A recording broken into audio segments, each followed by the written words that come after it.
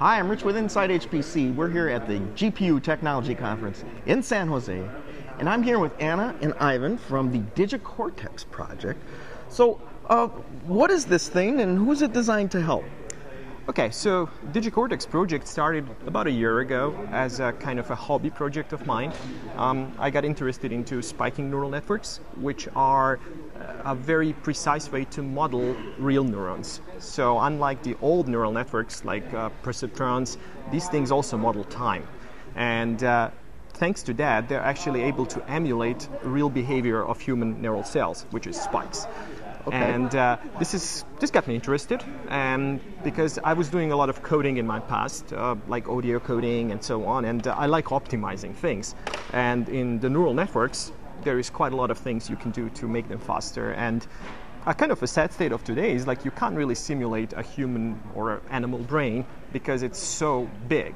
And uh, CPUs of today, they're just not up to the job. So I was like, okay, let's see how much you can speed these things up. And this is how the DigiCortex started. Okay, okay. And you were telling me earlier that uh, when you first thought about this GPU, you were a little dubious. You didn't, you didn't think that was going to fly, I did you? It was because I, I noticed like many times people compare GPUs and CPUs they were using not so optimized CPU code. So the mm-hmm. figures were like, okay, is this really possible? But then in the course of a couple of months, I completely changed. I became a believer in this because it's uh, it really really managed to speed things up with the with the CUDA. Okay. And pretty amazingly so, considering the fact that I spent about a year optimizing CPU code, and uh, that's like a few months ago. I talked to Ana, uh, who is a CUDA expert here, and she told me, well, you know, this what you're doing is so parallel that GPUs and the CUDA are the right thing for this job. And I was like, okay, you know, let's give it a try.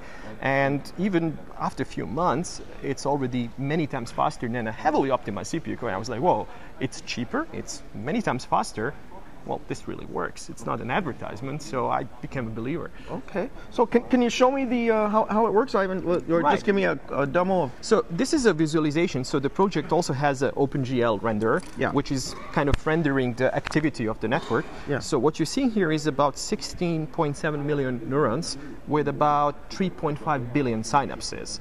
And this is running, this is the old version, which is running on a CPU, and it's running in about one thousandth of real time, meaning it needs 1,000 seconds to simulate a second of a simulation. Okay, so to get the 30 frames of this movie, that took a long time. It took it? a long time. A long time. Exactly. Okay, but it is, it's gorgeous. It's very pretty. Thank you. Okay, so so enter the GPU. Why don't we switch to Ana here, because I want to I want to find out how you made this leap. So Ana, I understand you were an early adopter of GPUs for computing. Is that correct? Yeah, yeah. Actually, I'm totally in love with GPUs. I started when the first CUDA version was out. It started related to my PhD research on compression algorithms, and I was like, wow, you can do amazing things. CUDA really empowers people to do beautiful, beautiful stuff. And that's the, the reason actually how I joined uh, Ivan on this project. He showed me this visualization and I was, wow, this is so beautiful, so beautiful. And I couldn't believe that the whole thing is running on a CPU. Okay, after a little bit of a chat, we figured out it's not really just a CPU, it was a multiprocessors, a, a 16 core Xeon. Mm-hmm. And but it, it has so much parallelism. So I thought, wow, th- this is just the perfect thing to, to run on a GPU. And uh, we started a couple of months ago, just uh, porting this highly optimized CPU code to the GPU and made really, really nice success so far. We released the first CUDA version last week. okay, okay. So what, what kind of speed up are we talking? We were talking a, a, a thousand seconds to record what a frame or a, a second, right? It, with the CPU. What are you able to do now with this first iteration on CUDA? Yeah, yeah. Well, the first iteration on CUDA, we managed to get to 100,000 neurons in real time and 10 million synapses, which is really like like a nice number. So chip makers are making chips with 1,000 neurons, just for comparison, to give you an okay. idea of the number. Okay. And that's just like our first CUDA code. Uh-huh. I plan to optimize it. To do, uh, I talked with NVIDIA yesterday about some optimization opportunities. So we hope to go to much higher scale and also implement a multi-GPU solution. Yeah. So that's like the the next big thing. Okay, so when we were talking, uh, what a hundred thousand neurons, that's like what, like a cat brain or a dog brain or something No, about that size? Or no, no, no, How not much? really. I think we're gonna need uh, NVIDIA computer plans for a cat brain. Oh, okay, Hi so NVIDIA, it's like if a, you're watching, send us one. okay, so just the, the, the lizard brain of the cat brain or yeah, something. yeah, yeah, okay, yeah. okay. So, so cat brain has uh, 300, 300 million. Yeah. okay. neurons, so we're a long way from that, but I think that with a multi-GPU solution, ev- even on a home PC, we could maybe do 1 million neurons quite soon. Actually, we are set to get to that level this year. Okay. That's Well, our th- goal. well, this is very exciting. So, so how far away would you estimate that we are from doing the whole human brain uh, with, at the progress you're showing now? Oh, well, Years?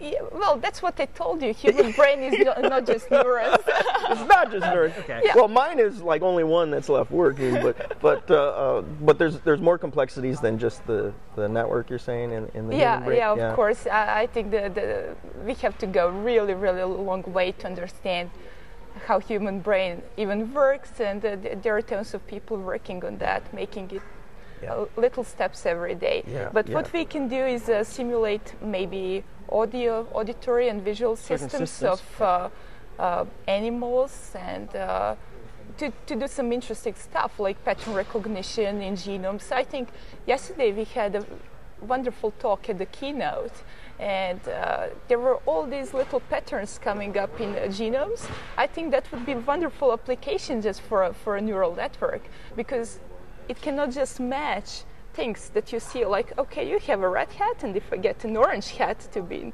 installed with my dutch you know background th- th- then it's a good match So once you have this working model, is the idea that that's something you can use uh, to test hypotheses against and do experiments, but inside the computer? Is that the idea? Exactly. This Okay. is what we already started doing with. Uh, we have certain learning algorithms which are very similar to what really happens in a brain. So, like it's called spike time dependent plasticity, for example. And what is not possible today is that if you want to do a hypothesis, how something works in a real brain, you need to have it on a larger scale. And today, with, with the CPUs, this is just not going to work unless you have a, a super cluster in your in your barn or somewhere. So, so what we are going to do is we bring it to this million of neurons or millions of neurons real time, and then we can really start to do cool stuff because you have the scale for the first mm-hmm. time.